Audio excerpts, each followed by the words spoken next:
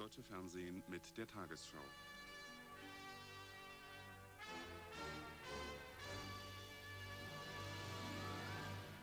Guten Abend, meine Damen und Herren.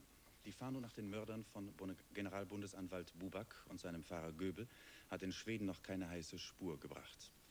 Die Polizei hatte Hinweise erhalten, dass die drei gesuchten mutmaßlichen Terroristen Sonnenberg, Klar und Volkerts bei der Einreise nach Schweden und später in einem Restaurant gesehen worden seien. Es ist ihr bisher aber nicht gelungen, diese Spur weiter zu verfolgen. Gegen Sonnenberg ist inzwischen Haftbefehl wegen dringenden Verdachts des Mordes und der Mitgliedschaft in einer terroristischen Vereinigung erlassen worden. Nach Angaben des Bundeskriminalamtes in Wiesbaden sind bei der Alarmfahndung im Bundesgebiet bisher mehr als 1000 Hinweise aus der Bevölkerung eingegangen. Einzelheiten über den Stand der Ermittlungen wurden allerdings nicht mitgeteilt. Der Gesundheitszustand des bei dem Attentat schwer verletzten Justizwachtmeisters Georg Wurster ist nach wie vor kritisch. Er wird noch immer auf der Intensivstation eines Karlsruher Krankenhauses behandelt. Zum Staatsbegräbnis für Generalbundesanwalt Buback und seinen Fahrer Göbel wird am Mittwoch auch Bundeskanzler Schmidt nach Karlsruhe reisen. An der Feier nehmen viele Minister von Bund und Ländern sowie Spitzenpolitiker aller Parteien teil.